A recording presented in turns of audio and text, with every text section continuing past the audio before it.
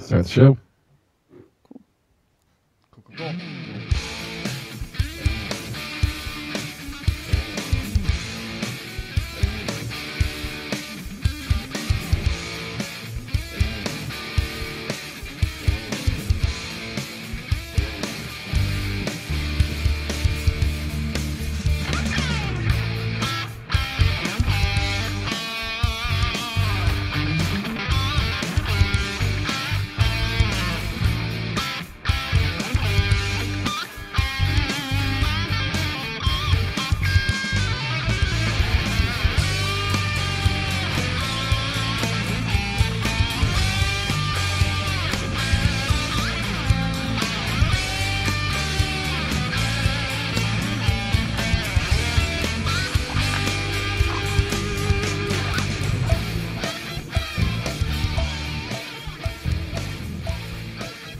Welcome to Have a Drink, a show where you learn along with uh, with us about the glorious drink called beer. I'm Brittany Lee Walker.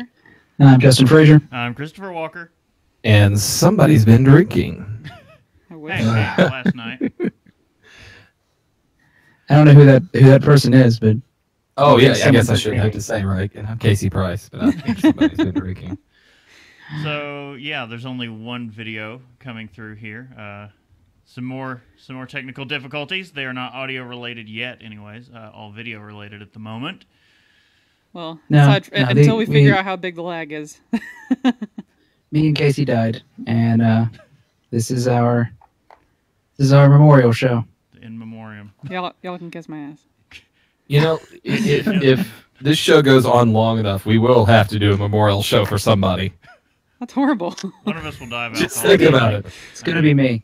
Can we be the first one to die? Jesus. It's inevitable. Lofty goals. Lofty goals. Uh, All right. All right. So the last episode, uh, some people may have noticed, uh, was never posted anywhere because there were so many difficulties with getting that one going and up. Even after it got, we trimmed it up, got it edited, and we're getting ready to post it, and it took a big old dump. By took a big I'm gonna go with- I mean the Mac. I'm gonna go with nin- I'm gonna go with ninjas came in and corrupted all of our files to make sure no Yeah. one could could see it in all of its glory. the last one though, I'm not. Uh, hey, Interox. Um, the last one, I'm not sad it's gone. that was a it was just a drunken mess, and uh, I'm convinced that MacBook just couldn't handle how terrible it was. So it just said couldn't nope and crashed and deleted the whole file, and it was lost. So the only people who got to see it were those of you with us live. So that one's gone forever. So this will be the first one that gets posted, barring any kind of uh, crash. yeah. Fucking ninjas. Uh, Yeah, uh, or gremlins. But yeah, that's, you know, that's it's the fine. result of that. Hopefully this one doesn't go as badly, but the lag is still bothering me, and now we're having video problems. So just you know, hold. Maybe by I don't know, sometime in March, like we'll have everything sorted and everything will be fine. Everything will be fine. we're all fine here. Everything's fine. How are you? Yeah, the computer we were running everything from before took a big old dump and is just a paperweight. So now we've got a series of oh. tablets and things strung together to try and make this work. When this when this podcast gets to 88 miles per hour, you're gonna see some serious shit. As We'll in- be in a genuinely wreck. surprised. Yeah. It's, it's less like we're in a DeLorean that's been pimped out, and we're that uh, that train at the end of Back to the Future Three that's going to explode because oh yeah. Right. we're throwing like nuclear logs into it. Just go, get it moving. All right. Um, so Casey has been doing a bit of traveling and got to go out to Salt Lake, I believe. Yeah, I got to do a little preview before we go out for a Nerdtacular. So uh, uh, I went and scoped all the good places to eat. Um, got some good uh, pho restaurants, some ramen places. Um, went to Cup Bop. So, um, but also scouted around to some of the, the different colleges in the area for work, quote unquote. And then um, was able to just basically spend a lot of time enjoying the beer. So that was fun. Um, you know, you always hear about Utah's kind of backward beer laws, but I, I, I stumbled upon the four percent draft limit. So no matter what you get on la- draft, it has to be four percent or less. Usually, everybody hits at four percent though, um, and that's ABV. Like where we would normally see Budweiser at at five percent ABV, it, it'd be four there. Um, so that was interesting to start off with. Did you hit Uh, what kind of? Did you find like a big stout that was just dropped down in ABV? I found a Dunkel that was four percent ABV. That was interesting. Um, uh, uh, it was supposed to be like real rich and everything, and then you know here it is, sort of a watery. The, the thing it doesn't actually it wasn't watery, and that's what bothered me a little bit. Um, they would try it if they actually watered it down. It, well, yeah, kind of. Um, I, don't get me wrong, because I like the idea that a four, the, all they served is four percent beer, because I could drink however much I really wanted at a bar and not get drunk. And uh, as long as I was there, like for an hour and a half, two hours, I could have like three or four beers and easily have that processed by the time I'm getting ready to leave. Right. But you were going to say? No, she just said right. She agreed. Oh, oh yeah. So uh, the the biggest issue is that they try to do these fake big beers, and they just do them as small small versions. So I'm okay. Like the the session IPAs, those were great. Um, but whenever they did like these big beers, they would try to do them as full bodied versions of them. So it would be thick, but it would only be a four percent thick beer Oh, Yeah, And- that does not play well. So I had some good ones that were okay, uh, and then I had some that were I would not be going back that direction again. Um, but I waited until I, I, tried to do all the draft that I could, and then I waited until I got back to the airport on my way back and had a bottle because you can have basically whatever percent anybody else has in in bottle. And so I waited until I got back to the airport and had a really big imperial stout. It was like nine or ten percent, something around there, and um, you know, tasty. But uh, but yeah, it was delicious. all right. What places did you end up going to while you were out there? Um, from I went Burger, 'cause know to about that. I went to a, a little tiny um, brew pub place called. Oh, I should have written the I should have written these down before I got on, but um, it was a.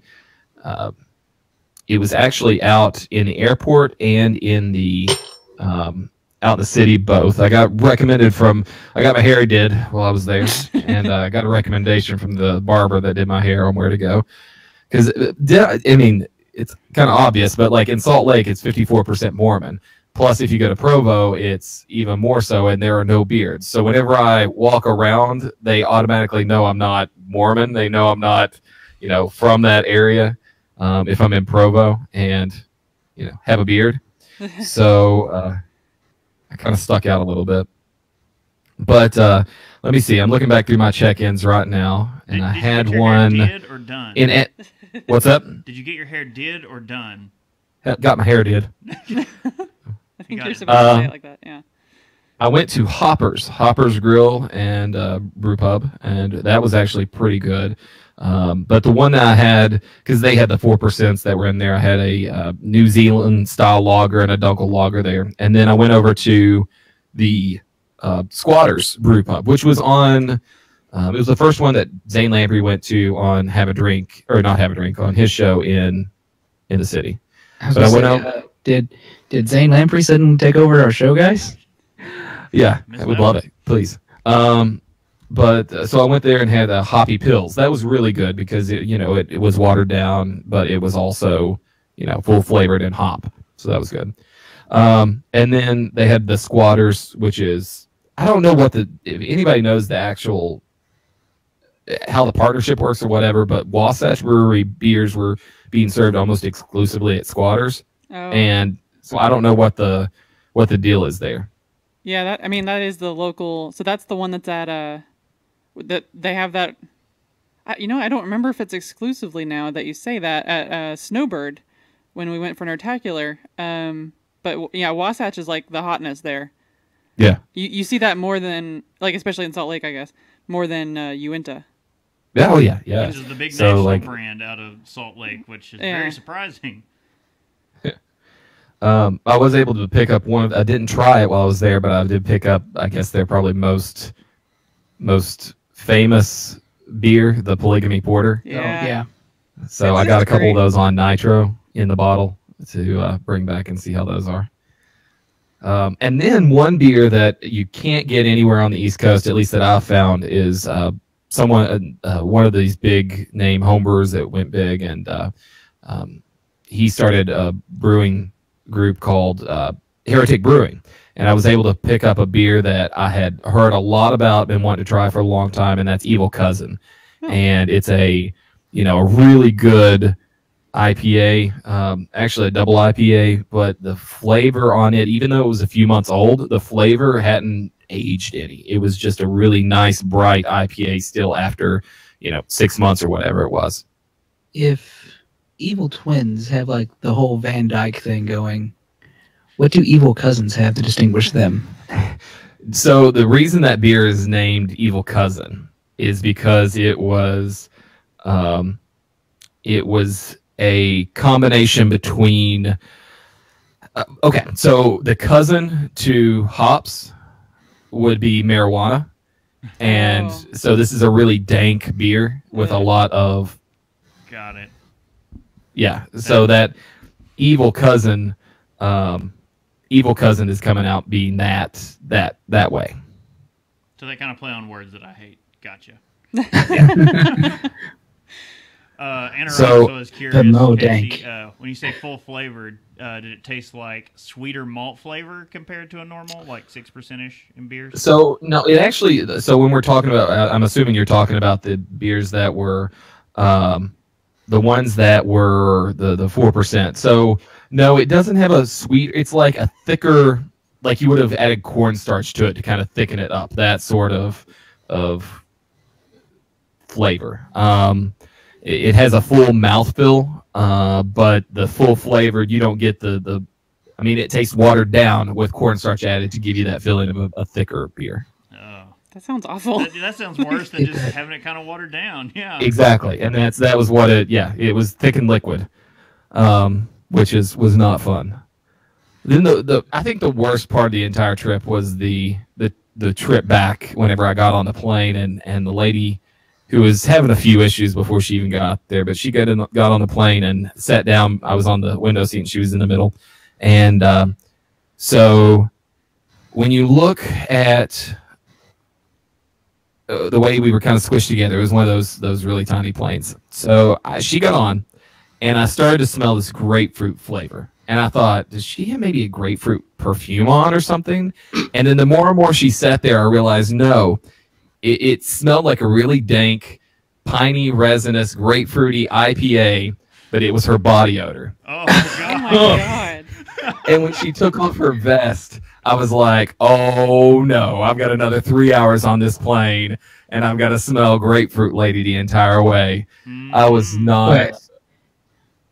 Was she? Did sorry, I'm, I, when you said grapefruit lady, I just immediately went to. No, no, no, no. Yeah, uh, not that grapefruit lady. not that kind of. Uh, Jeez. I was wondering because looking in our nose, it just says grapefruit lady, and I was like, wait, what? Yeah. so, but she, I mean, it smelled exactly like a grapefruity, citrusy hop, and I was like, mm, this is going to be fun. Yeah. Because it, it's that it's that strange like ooh I would like to have a grapefruit IPA and then it goes back to but that is that lady's bo and it kind of grosses you out. I may not be able to have a grapefruit IPA again. You're like, mm, I could go for a grapefruit sculpin right now. And you go, wait, no, no. Uh, Uh, but yeah, it was it was a fun trip. Got to try a lot of stuff. Got to kind of scope out where we're going to go and and be able to hit up for uh, stuff on the way back uh, in the summer. So hopefully we've got a few places to hit. awesome. Well, before we get into what the rest of us were up to, uh, let's go ahead and crack open the first one of these beers from the Schlafly Smash Pack. Yeah, I so mean, like crack I've the top, not this like up. break open the top of the bottle, right? Just, just, just open it. Uh, what, what were we doing first? Sorry. I guess should we should we talk a little bit about the, the what the Smash Pack is, Chris? Yeah, yeah. So uh the uh where did you go? So we apparently I don't know if we officially knew this beforehand either. Like the two of us. I don't know about you guys, but uh Schlafly is a brand of the St. Louis brewery. So we were trying to like we were like, oh, okay, maybe it's like Boston Beer Company with Sam Adams, Yeah. that kind Ah. of thing. Yeah, so who knew? Um, but uh, so they're sold under the Schlafly brand, um, and they're distributed in uh, Missouri, Kansas, Illinois, Indiana, Iowa, Kentucky, Tennessee, northwestern Mississippi, Arkansas, Northern Virginia, D.C., New York, and New Jersey. That's like super specific. That's like a weird. It's Midwest starting to try and stretch into the Northeast. Mm. So, uh, we, it's not as widely distributed as we we were hoping it would be, but um, we we do have a few more nationally distributed kind of things later on um, in the next episodes. Um, so, and then it was done. It was started by uh, a lawyer and nephew of the late political activist Phyllis Philip, yeah, Phyllis Schlafly. These names, man. Uh, And look, let's just all agree that Schlafly is the hardest name to say when you're drinking. Right? yeah. Like if you want to It's try awful. and order one by name at the bar, no, forget it. You're just tripping over all your words. or sorry, it was named after her. Anyway, so the pack itself, um, and we, we have a we're gonna share a link to it. We're gonna after we post the show notes, but um, it's uh, the hop trial pack basically, and it it features single malt and single hop, which is what Smash stands for in this, and um, it's bringing out the individual qualities of each ingredient, making the profile of the featured hop um, the main focus of each beer. So um, this is the first installment that they've done, I guess, and uh, they're hoping to have more come out in the future. Um, that they're- want to exp- uh, explore some experimental hops, and um, yeah, the, I don't know that we have a timeline though for that. Yeah, The- in their in their brew pub, they do like one experimental a month, and but it's on tap. And so whenever we get these smash packs out, that's uh that's really cool. Yeah, the and as Anachronox says in the chat, these these packs, more breweries really should do them. It literally is a on every beer that you're going to get here today. There's there's a single two row malted barley. There's no additional flavor malts or anything in there. It's just one single malt, uh, two row barley, uh, probably American two row. Uh, it's a golden ale. Comes in at six and a half percent ABV, uh, six SRM, so very light, and then in color. And then IBUs, you're looking at 45 IBUs, and the hop that is bittering it is the same hop that is adding the flavor. Now, I will say that whenever we, um, whenever we do drink these and try these, that each of these beers will have been brewed somewhere around six months ago, six to eight months ago. I mean, it's a little old of a pack. Um, I didn't know that when we were picking it up, but Right. because I hadn't hadn't seen it recently until you know we saw it maybe a few weeks ago before. But uh, you know, keep that in mind. But the fact that it doesn't have any um, any of the what what are we called The caramel malts actually Yeah, helps in this one. Okay. Uh, and then which one are we starting off with here? The, The Hallertauer Blanc. Okay. Hallertau. So Hallertau, uh, originally from Germany, the, the original Hallertau uh, hop, originally from Germany. Um, this one is a daughter of the Cascade hop. So whenever you breed hops, they, you know, each hop vine is exactly the same genetic material as every other hop vine out there of that same name. So this one, whenever you breed it, um, they bred a Cascade with something else, and you got this hop that came from it. Um, released in 2012 uh, because American craft beers kind of wanted a hop that was like this. I, I sorry, I'm just picturing of breeding hops in the same way that you know, like you breed horses or dogs, and See, my mind was going to Jurassic Park. he did it. Oh really God. crazy son of a bitch. He did it. Da, da, da. Um, in hop fields, it's all, uh, I, I guess, it, it kind of does go back to Jurassic Park because uh, wasn't Jurassic Park like all females? There were no no Yeah. males at all supposedly in the park, and then Uh, they yeah, but uh, life uh, finds a way. Right. So in hop fields, there are all female varieties. There are no male varieties in hop fields, intentionally so that they don't crossbreed and and That's so cause genetic mutations. They have Um, to keep they have to keep things pure for this German hop. Uh, yes, Germany We can't get away to from keep kids. things pure with their hops. You knew German purity was going to come into this. Yeah. no, no, just Stop. stop. Um, Stop. so I have to say the, the color is very pretty. It's like this like Very nice gold. Um, Yeah. a lot of head retention.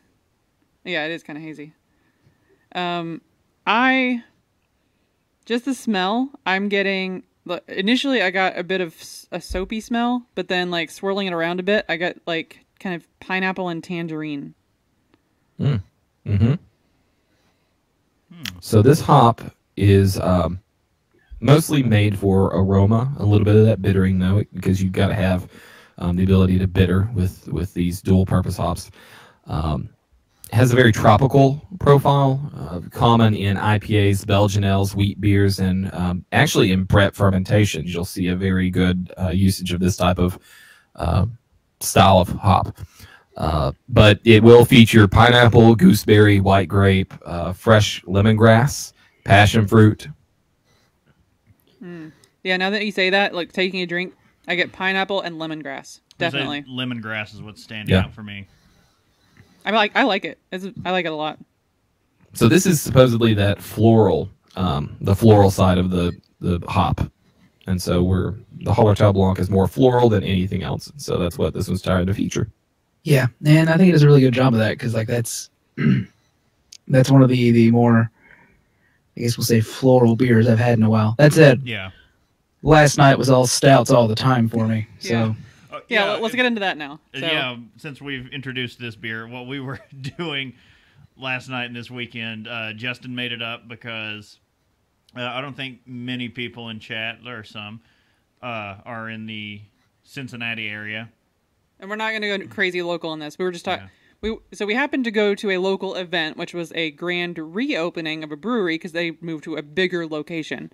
And bigger uh, it's a- location. They they had the technology. They built it better, stronger, faster than it was before. And they had the budget. exactly yeah it was like multi-million dollar project but um so we went to this local ev- brewery event but we got we did get to try some uh i would say a couple of them are like semi-local but they are more distributed throughout the midwest and even farther off to some to some places um because one of them is uh jackie o's and one's like the three floyds Okay, well, the Three Floyds was after we got back here. I'd pick that up. oh okay. Um, either way that it reflects it's fine what she's getting at is there were a couple that are, I think, nationally. Dis- Sun King, are they making national distribution yet?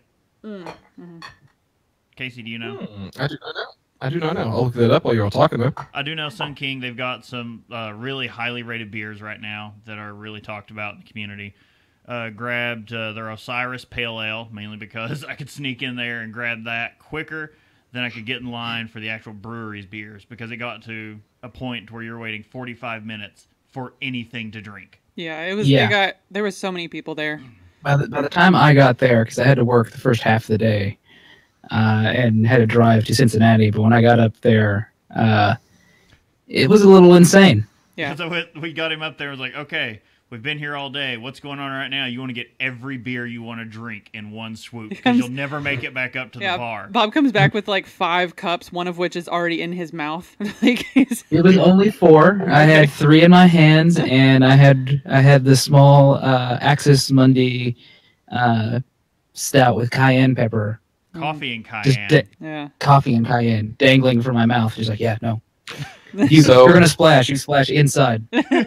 Currently, uh, distribution is Indiana only Oh, for okay. bars, restaurants, and venues. Um, I guess they could take it out for special events. They can get a special permit or a, uh get licensure to go out for special events, but That's only nice. inside Indiana currently. No. That's weird. Well, uh, I got a hold of that one, and then uh, Jackie O's Spirit Beast was on tap, and that one I is a can't blending. hear Jackie O without thinking of the Kennedy assassination. I'm just picturing like the label is like her in the pink thing with the pill hat, and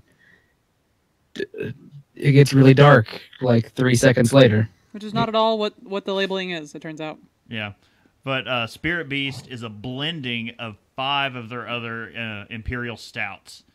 From Jackie Cool. They do a lot Yeah. of Imperial stouts, and they blended five of them into one thing, and then they blended that with a Belgian quad, Yeah. and it was delicious. I have to say. It was very intense though. Like it was it was pretty strong. Uh, that was good Wow. though. It was it was, but yeah, So- it's, it's one definitely one of the small pours that they give you is like a little Yeah. tiny cup. Yeah, so I keep having to reference back to my Untappd. which we'll That's, talk about in a minute. We'll get back to that. It's a great, great tool for when you can't remember what you were drinking. Well, and also while we were there, I tried. Um, no, the, the the particular name is a local, um, specifically to that brewery that we were at, but uh, so they called it a flulsh, which is just the worst way to think. play off of because it was a anything. kolsch. Yeah, It was a floral kolsch. They called it a flosch. yeah, but I See, I thought, thought, they, I thought they were going for it's a fake Kolsch. it, yeah, it could have gone either way, but uh, it's. I thought the take on the style was interesting because it, it was a Kolsch style, but it had um, lime, chili, and what was it? ginger. Ginger. limes, chilies, and gingers in it, or ginger in it, and it was so good. It was like really, really refreshing. It was. It was a nice. A sip of that was a nice break in between the four different stouts I was Yeah. slamming. Yeah, you had you got a bunch of dark things, and I had tried to keep my beers. We were we were there for Most of the twelve hours. Yeah, like all day. because I was I thought there'd be a giant line, so we got there early. I was like, oh, there's always a bottle share while you're waiting to get in, you know, get into things like this. I brought a bunch of beers with me, and then we get there. What doors are supposed to be at eleven, and we pull up at seven thirty, and I'm like, well, there's no one here. All right, we're the first. So I was like, we'll just chill in the car. We roll down the windows. We sit there and listen to music and talk. And after about a half an hour, I'm like, well, I've got all these beers in here, and no one else is here yet. So I think it's time to start drinking. yeah, No. This is this is more or less what I, I thought when I heard like, yeah, no, we've been here all day, and I'm at yeah. They they you started drinking before I woke up. Yeah. So yeah, about eight a.m. it was one of mm. those day drinking things. So, So yeah, we ended up drinking all the beers we brought with us, and just no one else, no one's in line. yet. I was like, all right, well, when it gets to an hour till doors, we'll just go hop up in line. And that's kind of what happened. And then right after we get up there, everyone else shows up. I don't know if everyone was just like sitting off to the side waiting for something to happen. They're like, well, I'm They're waiting for gonna that go first brave brave hero to create the line. Well, we sucked it up and we were those heroes. But we only got there that early because we've been to many of these events where we don't get a seat. And if you're going to be there, because we Yeah. knew you were going to be a while getting up, you want a seat. And I was like, I'm not standing for the next eight hours. yeah, So we we did get a seat, so we could have pizza and all this different stuff. But we ended up having to fight people pretty much all day to keep them out of our seats. yeah. Um, it it got nuts. But and then uh, so when we got back, then and and Bob was actually there to try that part. But it was the Three Floyds collaboration with Fatheads Brewery, which was interesting just because of that, really. so, uh, but it was a good beer. It was really good. What what was the style again? Um, crap, crap. Well, you Uh, checked in. Just IPA is what they have That's- it down as. Uh, That doesn't the sound beer really good. confidentiality and disclosure. I was like, crap does not sound like a good style. no. The beer was confidentiality and disclosure, and it was.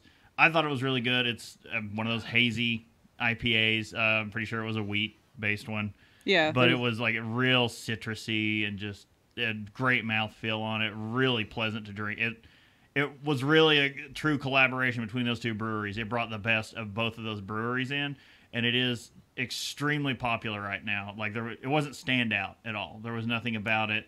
There was screamed exclusively. You're getting this taste from this only this beer, but it was still really good. Yeah, it um, I I I really liked it. I I just the bottle's great too. I think I want to keep that label, but it, it was just an interesting collaboration uh, choice between people. Um, all right, I'm I'm really liking this beer. The more we drink it, um, Me we- too. uh, but I just keep looking at going like, you're going to be gone soon, and I'm afraid how all the rest of them are going to taste. Yeah, this So is yeah, the only thing the only thing different between these four beers is just the hop. Everything remains the same, which lets you taste just the hop, which is So- great. I think it's such an interesting approach to these things. I wish more people would do this, more breweries. Oh, Yeah. All right, Definitely. um, So do you want to know the reason that it was called Flosh? oh okay, I mean, I've got some theories, but go ahead and tell me the actual reason. Apparently, um, a chef from the Cincinnati area, fro- uh, Maribel's, Mike Floria, um, was. I'm guessing that he was a collaboration to bring together some of this beer, and his high school nickname was Flosh, which turns Not out sure that how sounds he- like Kolsch. Not sure how he gets that nickname. So they just slapped Uh. umlauts on it, and we're like, there we go. That's so Now funny he, too, uh, because that that place was there. Um, because they had like a series of food trucks, and Marybell's was there. Yep. So uh, the chef from there, I think, is the collaborator on this, and uh, now he just goes by Flo All right instead then. of just Flush. So there you go. But yeah, that event was uh, a little a little crazy. I Yeah. mean, it was it got to the point to where you just gave up. Like we took all of our remaining beer tickets and just bought every used them all and bought as many beers as I could and took them back because I was like, I'm not going back up there. Forget it. Oh wow! So you could you could take them to go. oh no, No, like, we just took them back to the to, to the to the table. table we were sitting at. Okay. Okay. Whew. I don't, Well, I'm just like missing out on that one. If you could take it to go. Well, they had big signs that was like no beer beyond this point, but people didn't care. Yeah, because they had Yeah. like food trucks where technically you weren't allowed to have your beer at. Mm, that stinks. Yeah. All right. You ready for the next beer? Let's- ready to let's crack it open right now. going. Just whenever you go from that beer to this beer, I've already cracked it. Th- this is what I'm afraid of. Ah, Oh God! Just whenever you you smell it, just think it's the only thing that's changed is the hop, and and that just kind of blows my mind that the only this thing that's changed is one this hop. is the Brambling Cross. Yep. okay, Brambling Cross is the next one. Yeah. Yep. So just a little background on Brambling Cross and what uh, kind of what that hop comes from. Um, so you're looking at a UK derived hop. Now this was originally this isn't a new hop. It's not a new variety or anything like that. It's it was originally derived in 1927 at uh, Wye College, W Y E College in England. So this is actually a really old hop, but what we're seeing more and more of is these old hops will be discovered or rediscovered by some small microbrewery, and you know the hipsters really latch onto it.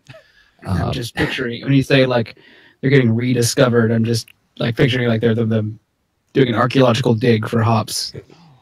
This looks Um, darker.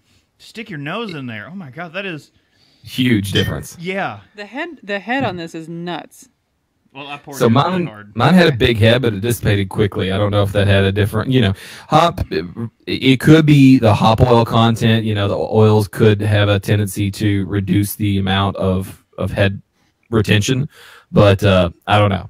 Um, but this this was rig- originally a hop that was developed because of its resistance to verticillium wilt. So it's its resistance to a an actual uh, something that would would come around and wipe out hop crops. It had a resistance to it, and I think this is the same. Um, this may be the same thing that came came in and wiped out grapevines as well. Mm. Uh, but despite its growing demand, it's still primarily just available in the UK. It's in, in small batches. It's a lower yield crop, so it's not like a big hop that's used for mass production beers. It's a cross originally from Golding, which is a Kent, originally grown in Kent, um, Kent Golding hop, and a Meta- Manitoban, which is a Canadian hop. So a cross between those two. So That I'm not getting any citrus from the smell at all. So this one is spicy. And so with a spicy hop, you're going to get like black currant, loganberry, maybe a little bit of lemon. Um, but you'll get like plum and that black currant will really come through, maybe some hay aromas. I was gonna say black currant may be the thing that I'm I'm tasting Yeah. most out of it. Isn't that weird? What's the mouthfeel is even completely different from the last Yeah. one. Yeah. Like this one is really cloying. It's sticking to the roof of my mouth. hmm And the I'm smell having a similar like, thing with that. like a so resin smell. So that is, I mean, that is that indistinct spice that you, you can, in this beer, it's like, I don't know what that spice is, but it kind of reminds me of allspice or clove and cinnamon and all those things kind of put together. That's so interesting from such a lightly colored beer to me. Like that's can't- something you expect. I can never hear clove without immediately going to cigarette in my brain. hmm It's just always the first first stop I make. Okay, so I think earlier we were talking. Uh, we forgot to bring it up last episode that I guess really just doesn't exist now, so it doesn't matter. Um, Untappd. If a lot of you are into that, I thought you want to talk about the new beers. Okay. wait that a second. Okay. Uh, but on yeah. Untappd, you can uh, kind of follow us and keep track of a lot of the beers you're drinking, and it like we were just using. It's a great way to call back when you forget after you've had a few what you actually drank. Except I'm really bad to forget to check into things. Yeah, you, you do have you do kind of have to be uh, almost obsessive about it to make sure that you not only check in, but you're checking into the correct one. And if you want to tag a location to it, um, which I think you still have to have like a Foursquare account to do the location thing. Um, I think Um, did they lock down adding? Yeah, you can add a new location through Four, Foursquare, and so yeah. okay. Uh, But and you can you can check in with Untappd without a Foursquare account though. Right, right. But if you want to remember like where you drank something at, like to remember, you know, if it's locked Yeah, down just- to a specific location for that matter. I think just to add, um, just to add a location, to add a new location. Now you can check into old locations through Untappd without having the Foursquare. Okay. Um, that's my understanding. Cool. Um, yeah, I, I'm I'm a huge fan. Um, and it, you know, we try on the overlay to have our Untappd profiles on there. Um, we do talk about uh, so Untappd does badges again, kind of like Foursquare used to do. Where I Where would say we don't need no stinking badges, but no, we're addicted. No, I we do. need all the badges. That's why I had Casey uh, bring me some bottles of uh, Vienna Lager because there were two badges, one for each I gotta, drink. I gotta don't drink them all. That's all I'm saying. You don't Yeah. cheat. I I mean, it's worthy to have all these beers. You do got to drink them all.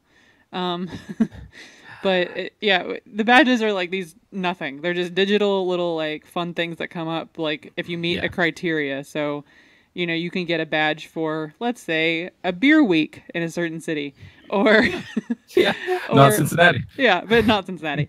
Um, or you can uh, get a badge for drinking like a certain number of a particular style or from a particular region.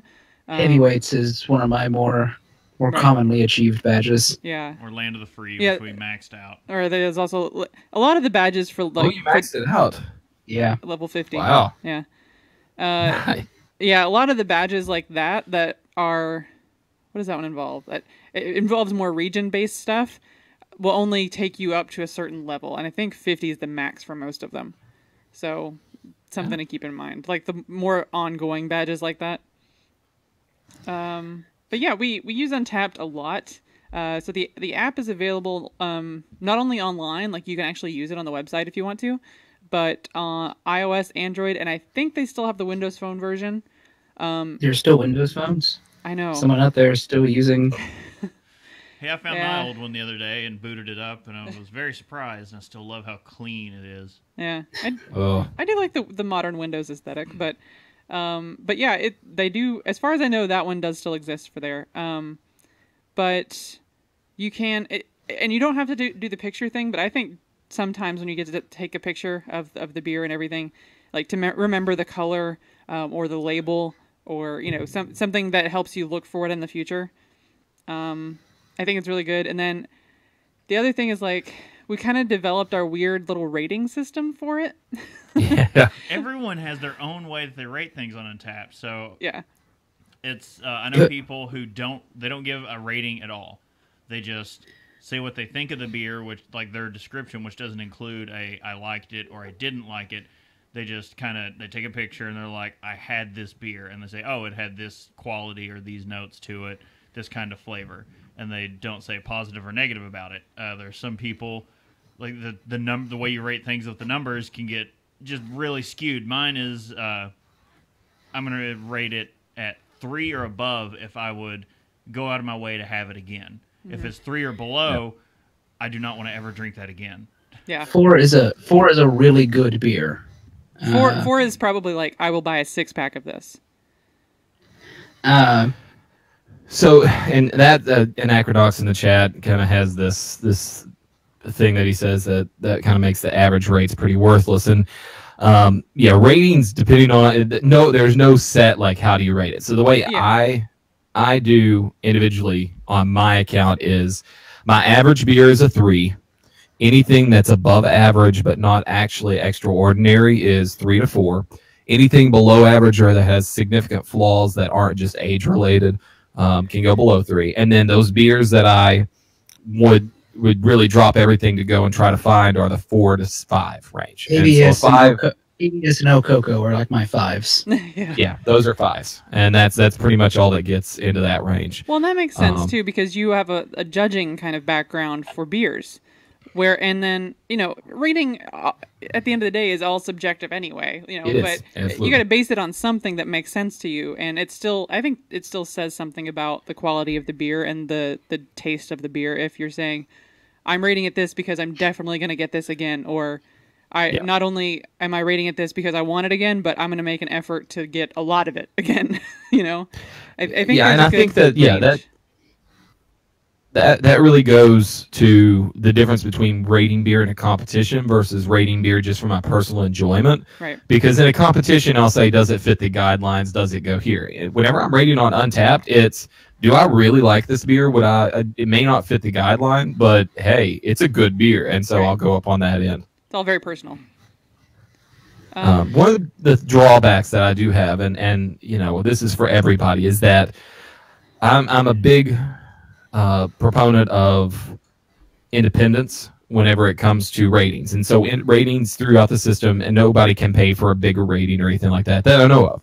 Um, but the badge system, you can. There's a it's a marketing thing for some companies to go and say, hey, we want a badge. Let me pay Untappd, and that way you get a badge for it. So. right. Um, you see this a lot of times with like the Guinness badges.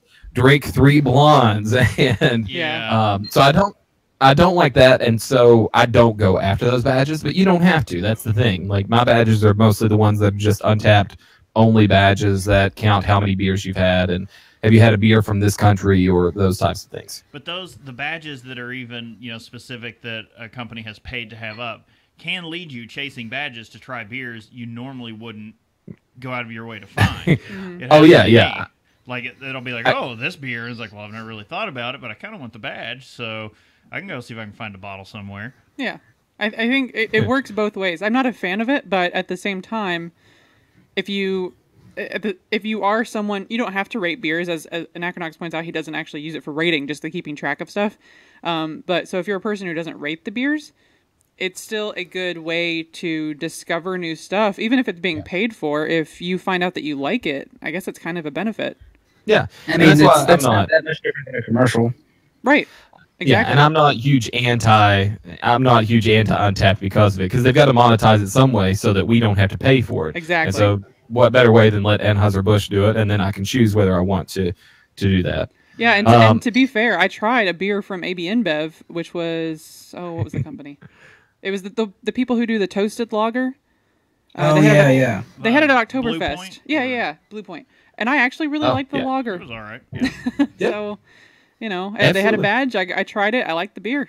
So, Speaking One thing that I do want to point out, though, is whenever I start to rate beers, and this goes back to something that Anachronox said there, whenever I start to rate beers, I want to make sure that I'm giving them a good shake and a good fair rating. Hmm. So after I have had maybe three or four beers, I don't rate anymore for that night until I can get them get my palate back to a place that it needs to be and say okay this is a real i can i can tell myself this is for real what i really think about this beer not not with the rose tinted glasses the entire night Yeah, after four or Not five with beers, everything not with the beer taste buds. Everything's Yeah. getting a four up. You're just like, this is amazing. Yeah. that's- that's so other thing whenever I go to a beer tasting, I'm like, no. After after probably four or five, no, I probably go in about ten pours on the like two to four ounce pours somewhere in there, about ten pours before I quit, yeah, and I just I- check in and say, yeah, I've had it. So that's the other thing to keep in mind for anyone using Untap but isn't aware of that. You can go back and edit your check-ins, so you can add pictures later. You can change change your rating later. So it's just a good thing to to know in case you want to do something like that. You want to check into the beer to make sure you don't forget something, or if you are trying to get a timed kind of badge, because some of them you know have like a two week window, for example. But um, it's good to know if you want to hold off on the rating until you're in a better palate state and a better state of mind, perhaps.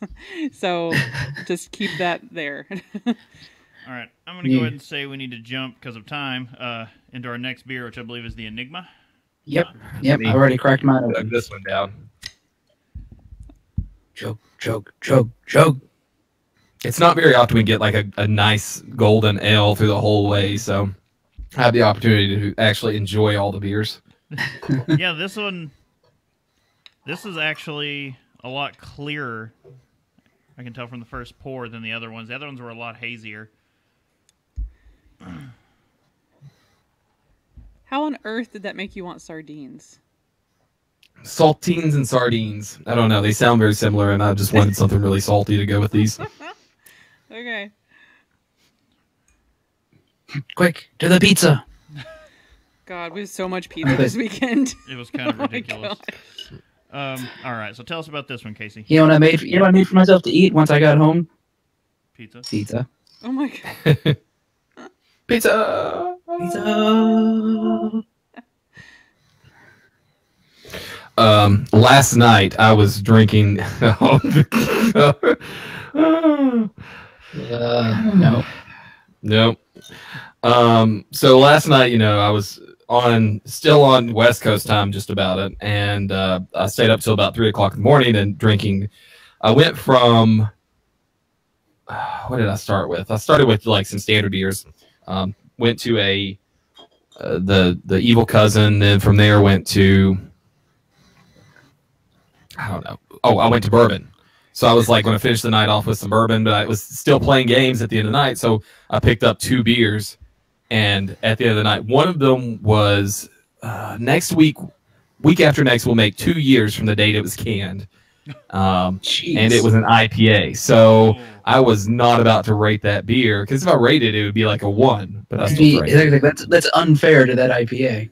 exactly. So you know, if it's an old beer, if it's something along those lines, I'd try not to to rate it like Yeah. that. Okay, can we talk about this beer we just cracked open, this Enigma? I really like this smell. Mm. I So don't whenever- like the smell, but I like the taste. Is that strange? No, I Not mean, necessarily. different things. I just mean like th- th- there's something about, and it may just be that my sinuses are a little, a little wonky still. But So this is uh, Enigma. It's supposed to show off and showcase the fruitiness of hops. Now this is from Australia, so uh, south of the equator hop. Uh, um, descendant of the Swiss Tettnang hop. Yeah, Tettnang, I guess would be the, the Yeah. proper way. It's the Tet offensive. We're in Danang. Tettnang. Um, but not, it not only does it grow, and they actually say in here, not only does she grow, because I guess she, it is a female hop. Um, like a North American hop, she throws up a range of flavors that are far removed from her heritage. So it doesn't taste like that Tettnang. Um, I need, I need you to say that again, like. Paul Hogan. I know the name. Oh, oh yeah, I can't do that. Uh, I would, I would offend some, I'm sure. Uh, again, You, you know, you don't want to go in and go like, uh, let's see. she throws up a. No, no, I She- can't do it. She throws up a range of flip. No, No, no, that's not. Scottish. That's not Paul. Scottish. That's, yeah, I went went wrong. See. You were just Magni Bronzebeard for a minute. Come in and have a drink. So it's a dual purpose hop, uh, mid teen alpha acid. So I think it's like 13 to 15 average alpha acid. Can, can Um, you really say that Scotsmen and Australians are that different? I mean, technically, they're really from the same country with the accent. Okay, Um, sorry. Carry on. Uh, soft. This one has a soft bitterness. So one of the things that I really want us to get into on an episode is it doesn't matter what the IBU level is.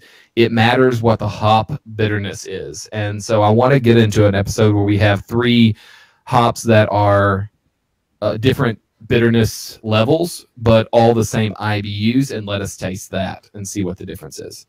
Because you can have a 45 IBUs that tastes really harsh bitter, Hmm. and then you can have 45 IBUs that tastes really soft bitter, which is supposedly what this hop is. Mm. Um, you can dry hop with it, which is add it late, like after the hop is or after the, the wort is being cooled, or um, add it late in the brew process. So maybe at whirlpool to maximize the flavor or aroma potential. Every hop you can do that with. This one just it, it kind of stands out a little bit better. You're a whirlpool, and I'm picturing like a, a jacuzzi for for hops. Uh, yes.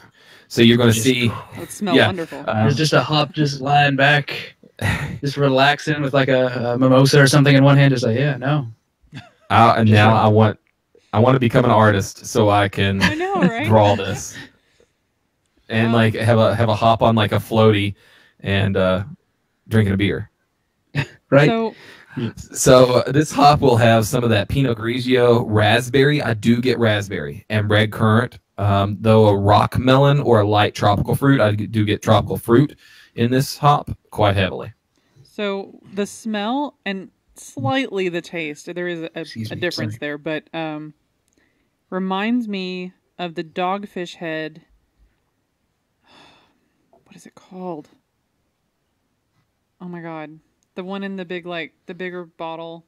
It's like a a, a wine kind of like a white wine thing. Um, Um, Right? Noble Rot, yes. The smell Uh, Oh, definitely reminds yeah. me of Noble Rot, but only a slight because it's got that little bit of sweetness because there's like a, a, a deeper fruit involved. But um, on the smell, it definitely reminds me of Noble Rot. Yeah, yeah, um, and Noble Rot is going back to that Pinot Grigio. I mean, that's that's the kind of flavor that this one's trying to show off. What's the SNL sketch where they keep talking about Pinot Grigios? I don't Not that know. good I don't at know SNL. that. Yeah. Was it? I'm making a note to look that up though. yeah, like I want to say it was like either the the the uh, the weird swinger family, or maybe it was the ladies' man. Someone said Pinot Grigio at some point during one of those, and it's it's stuck in my head. I I wouldn't. think probably wasn't ladies man because Probably not. uh, but- his thing was Courvoisier. Oh yeah, Um, from around 2012, Joseph. Gordon-Levitt. I don't know. Like I'm just saying, like I have this this image in my head, like this this mention of Pinot Grigio overly uh, in an SNL sketch. All right, I just pulled it up. I'll link it up in chat. Um, Well, Can't real give me quick, things to There read in chat. time is starting So, to yeah. slip by us. So while we finish these up, What's that? Uh, time slipping past. While we finish these up, oh yeah, real quick, something we wanted to add into this because mainly I've been looking for a, a show to add in new beer announcements because there's a lot of things that suddenly I see it on the shelf and I'm like, why did I not know this was coming? but a lot of Oh, things yeah. we kind of want to keep our eyes out for. Uh, Goose Island has actually. Uh, there wasn't an official announcement. It was at a trade show or something. They just kind of let slip. Oh yeah, we've got this other project we're working on uh, that they're calling the Cooper Project. Uh, following the success of its Bourbon County brand barrel aged stout series, Goose Island Brewing has announced a new series to launch next month, the Cooper Project. The new project will be the first barrel aged series outside of Bourbon County Stout, which was first introduced in '92. The Cooper Project. Do they do they age their do they take their bourbon barrels, break them apart, put them into other bourbon barrels, and let them age in that first, and Yo, then dog. We heard you like barrel aged. Casey, did you see that? which one? put it on the show Twitter account. I Yeah, think. it's Yeah. on the show Twitter account at the thing we were at this weekend. They We- did We think they were. It was just a little misworded, is all. the way they worded it because they took their June, which is a gin barrel aged Kolsch. Yes, I did see that. put it into eh. bourbon barrels, but the way they worded it was like they put the bourbon barrels in the gin barrels. Because it was like And so- barrel a- bourbon barrel aged gin barrels. And we're like, Yeah. wait, what? Yo, dog, we Yeah. like barrel aged beers, so we barrel aged your barrels. Yeah. But, uh, the Cooper Project is a rotating series of barrel aged recipes that will be released throughout 2017. There will be three Cooper Project releases in total this year, uh, with the first a barrel aged Scottish ale or Scotch ale. My bad, that is a completely different style. Scotch ale. They, that is it. They, they, they are they are different. Yes, uh, scheduled to be released March 6th, so that is coming quick. Uh, weighing in at a hearty 8.7% ABV, the Cooper Project's Scotch Ale is described by Goose Island as a deep copper in color, imparting flavors of rich malt, toffee, and subtle roast, allowing for a balanced blend. excuse me, of flavors from the beer and from the bourbon barrel. You getting No, all you've been shucked up, drinking beer. a little verklempt over there. Ready to go. A Little little verklempt. Uh, Yeah, um, they go into more. Um, does anybody else? So sorry to break, but uh, this just hit me on this beer. Does anybody else think this tastes sweeter than the other beers? yeah, Yes. Also- definitely. Yeah. it's and- got a bit of it's got a bit of sweetness, but But it's not. Now you could sweet. use the same ingredients, but the way you brew it make it taste sweeter. But I wonder if it's just the hop that makes you think that it's sweeter than what it is. Yeah. It, it's. But it's not. Un, like, I don't like a lot of the sweeter drinks. So it, it's not. I don't know. Off putting in the sweetness. It's just like. Yeah. It's a little bit of sweetness enough to be like, oh, okay. This is nice. Like it, it almost. I mean, to me, I don't know about anybody else, but to me, it almost tastes like a little bit of background artificial sweetener added. Um, Oh. it probably, I mean, it isn't. I'm sure it isn't. Um, Yeah. But that's the way it kind of comes across is that just light sweetness. I, I think it, it Um, I guess it's got to be be the hop. It has to be. Yeah. Okay, uh, they're going to be three or two more releases. There'll be three releases in that series of beers coming up, but that is the first one coming. And you might want to look around because I don't know if it's going to be like a, it's on doesn't even make it to shelves. If the you know stores are going to have a limit, be like, oh, two bottles of this per person, and there's a line out the door. But start inquiring now at your local shops about that. The Cooper Project I, I, and the I other one coming a, up uh, is I want to work in a beer. I want to work in a beer store, liquor store, and there's like, uh, like, hey, do you have this? Oh yeah, sure. Would you like to know more? Hmm. Just go, just go. Starship Troopers on them. Uh, but Founders uh, started a new barrel aged program this year with their massive expansion of a barrel aging warehouse, and they I guess got rid of the backstage series, which is kind of where they put these beers in the past, and uh, because they put KBS and Backwoods Bastard into this, so there were going to be four beers in this total this year, and they grandfathered in two, and Frootwood was the first new one. And this one isn't even really a new one; it's an old one that used to be taproom only, but it's Doom. And uh, Doom is a 10% ABV Imperial IPA that has been aged in bourbon barrels. And it was Jeez. first draft only uh, in 2009 out of their tap room in Grand Rapids, Michigan. So that one will be creeping up on us quick. I don't think. It just says May. And it'll be available in 12 ounce bottles and in bombers, which is interesting for all those beers. I think you're supposed to say Doom. Doom! This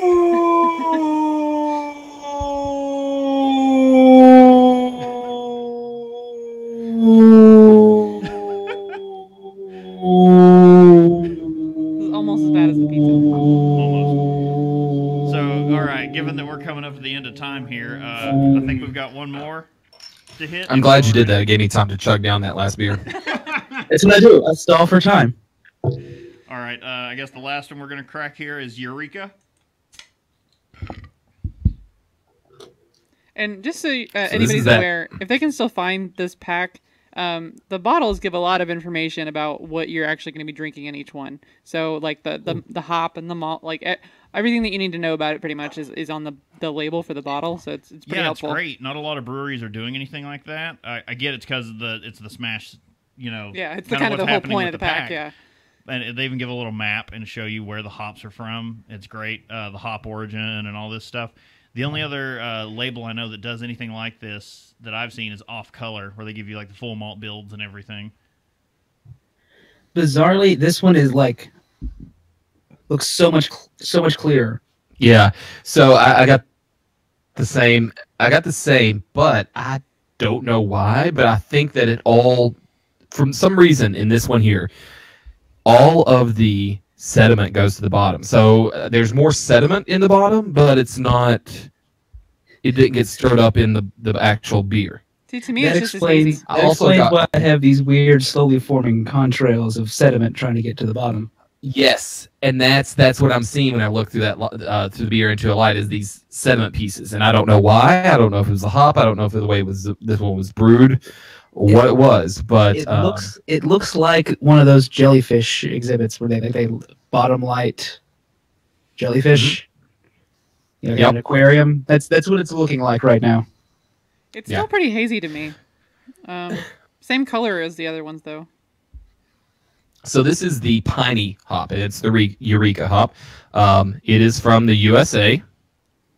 Does this does this hop when they found it? Did they run naked out into the streets out of the shower? Eureka! Oh, okay. I see. I see. I see. No, Eureka actually just makes me think of the show. I was going toward What? the like the USA chant. I was I was like I was queuing waiting- you I up think for a that's USA what- chant. You said I, it. in I your Um, don't know. I don't know how you're getting to a USA chant from there. Well, no, because I said the origin was from the USA. Oh, no, we were Yeah. focused on the name. I was with you, Bob. Sorry.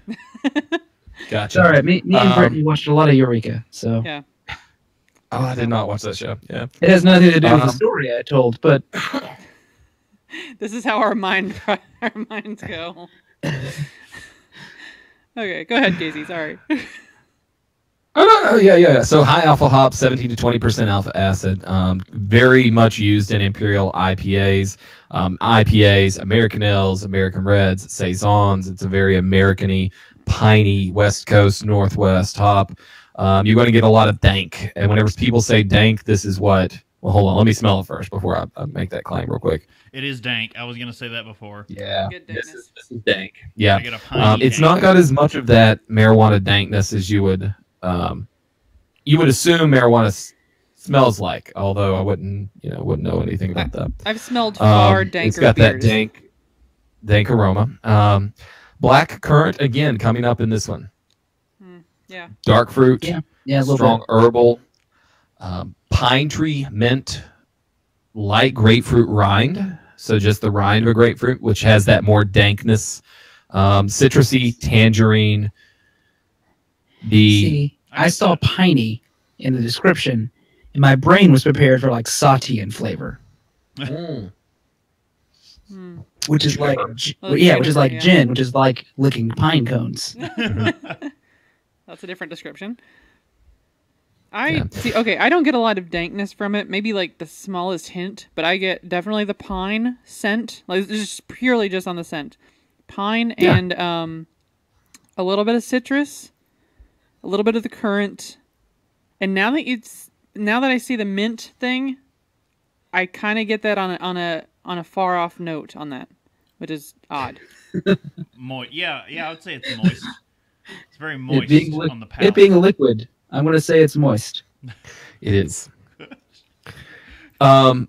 So let me, while we've got the, I mean, we can go over a little. We've already gone over, so I mean that's not a big We deal. But starting. um, all hops can kind of be broken into major flavor categories, and those being what we see today have been the floral, the fruity, the pine, and the spicy. But you can also get like an earthy grassiness, or a resinous, or a citrusy.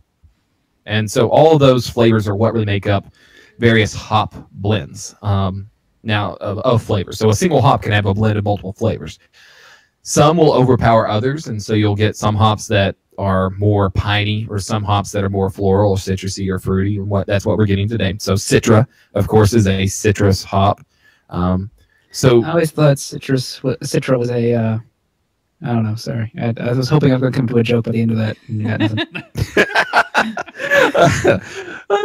so I'm gonna uh, I'm gonna link up a, a little link in the chat, but so I think Brittany, you may want to put this on the side. I don't know if you want to or not, um, but there's a hop wheel that kind of shows you where Oh. various major hop varieties will fall in these different flavors. Uh, no, no. I have to only take my, my dietary things in pyramids. Reorganize this. No wheels, only pyramids. Yeah, make just send me those links or something. I'll put them in the this doc. But um, I'll, I'll yeah, make they're sure I get all. them on the It show should all be in the show notes. Hopefully, yeah. Oh, I, I noticed that. Um, so just this disclaimer. This has nothing to do with this. Uh, Sergeant Muffin had pointed out earlier that there's a bit of an audio versus video lag. Um, if the, if it gets posted that way, I do apologize now. But we're hoping by the next time the video thing rolls around, this will all be worked out. And Uh, we'll actually be running this off of a computer, like an instead of a actual tablet. PC Yeah, that's wired mentioned- instead of wireless. Like we just we're kind of having to. Uh, it's it's about finances, kids. And I mentioned in I mentioned in chat to Sergeant Muffin. It's like, yeah, we're. He's like, is your computer overloaded? I was like, well, we're running this off multiple tablets, baling wire, spit, tape. and duct tape. yeah, Yeah. that's what it feels like. Um, it's still not as bad as the New Year's Eve stream, and yet we didn't have as many problems then. Uh, who knew? But Or we were so drunk we didn't notice. That was probably the case. true. We were so drunk because we'd already recorded another episode of like gigantic stouts. We are just like, no, it's great. Um, but yeah, so I just Well, we put that out also went through most of that mute. yeah. Um, but no, I I like this beer. Yeah, this one's pretty good. Go on, uh, the first go one in was circle there. yeah. Um, so finishing these out, do we want to run through and say what our favorite was? Everybody, the You pack? can't ask me to choose between my children, Chris. I'm, I'm gonna ask it. Uh, I'll kick us off because my favorite was the first one we did, the Hallertau Blanc. Hmm. That was It's pretty good. just amazing to me. Um, It, that felt really great on my I, I, palate. re- I really did like it. That's that's probably the one I would I would lean to the most. My uh, second place is somewhere between Enigma and Eureka. I think I don't know which one of them. Like they're they're they're good for different things. Yeah, Uh, it depends on what you're in the mood for. Um, I'm gonna go. I'm gonna say, it's my my top one is between the Eureka and the Blanc. I just really liked those floral hops. That might have been part of it too, because it had this this range of flavor. Yeah, it and I like this one. It sounds odd to be like, oh, I like the pine because you're just drinking that all the time. But you know, but it's I, I don't know what it is, and to me, it's not really that dank at all. Uh, I mean, we've smelled beers that are basically pot in a glass. Well, So again, So comes Anachronox, I, I am going to come up with a Bramling Cross Love because I did think that that was probably the best one out of all these. It had that really big spiciness to it. Uh, you know, when we talk about spice, I did like that. I usually Look like again. spice too. th- this is like a kind of a game of inches because I actually enjoyed all of these. It's a really- large. Yeah, okay. So that being said, I think we could probably all agree that if you can find this pack somewhere, maybe just get the pack.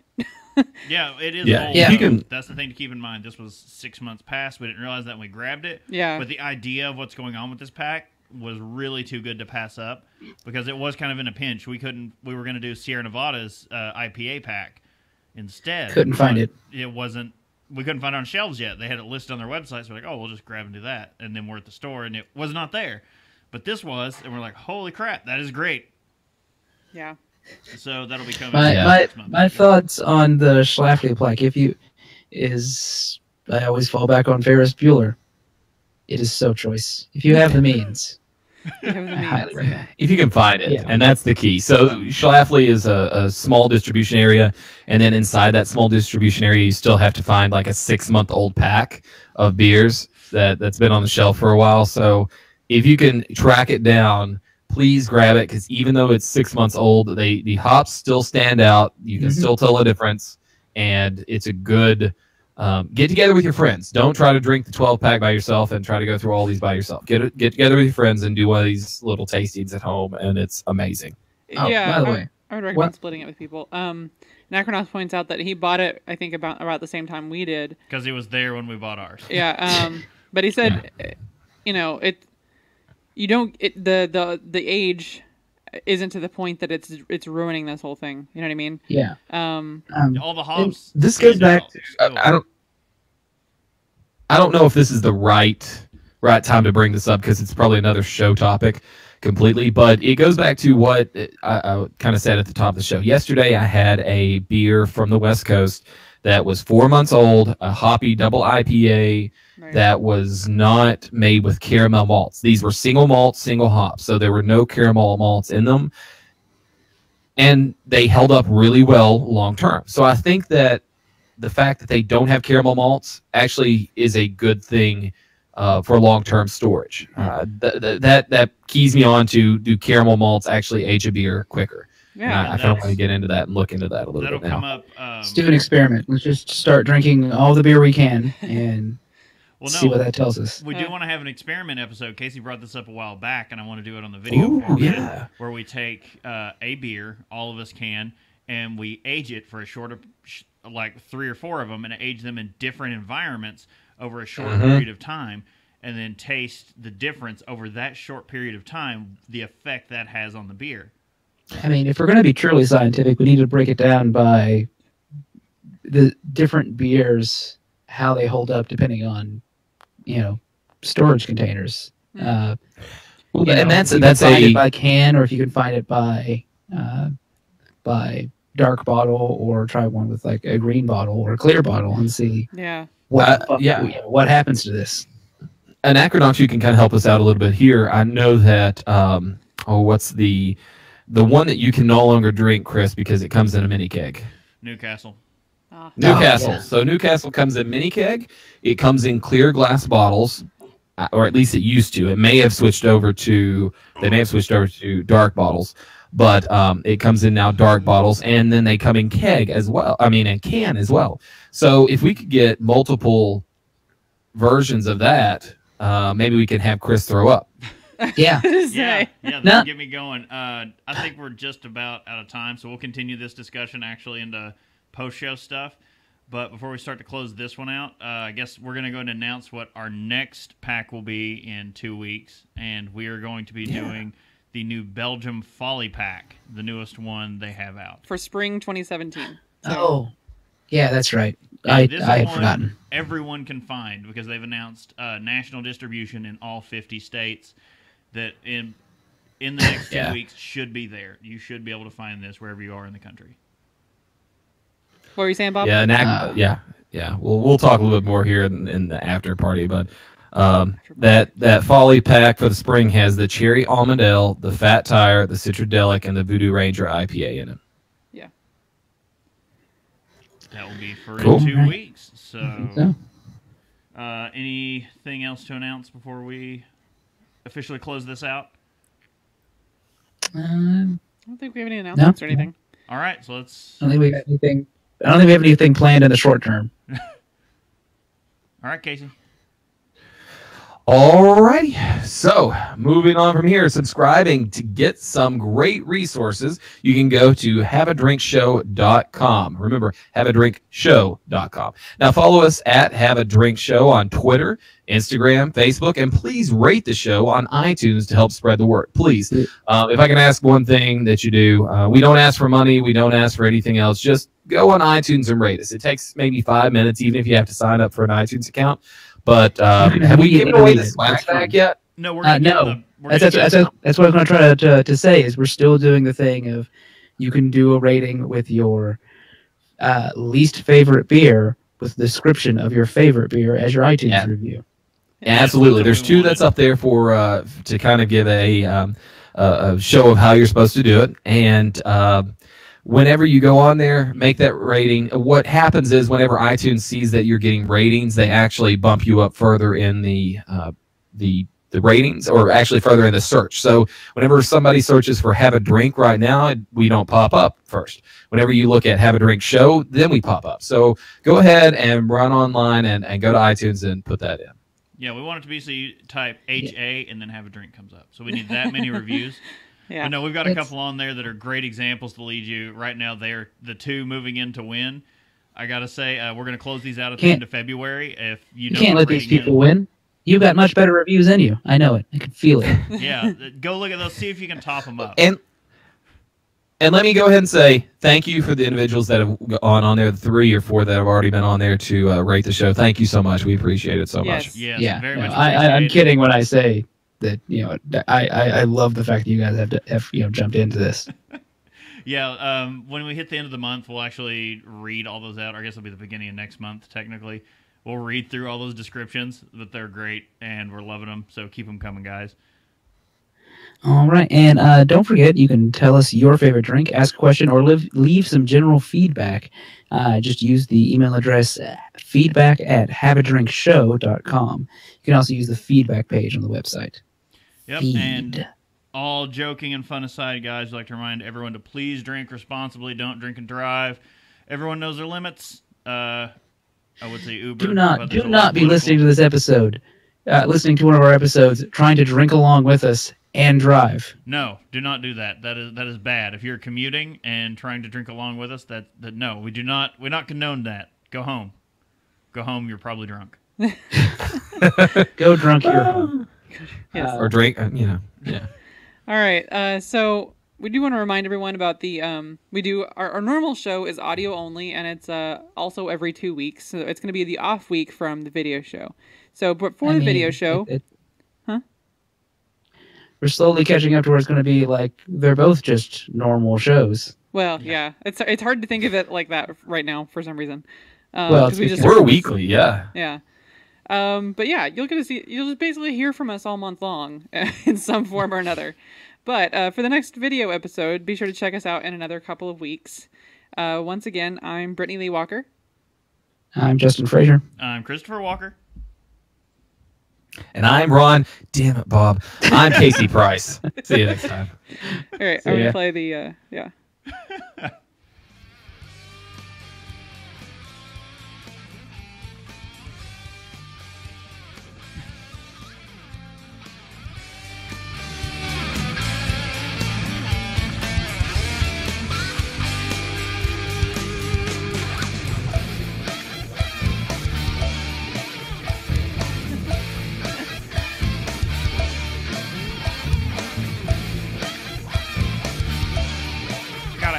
belt, baby. Yeah, I think I just.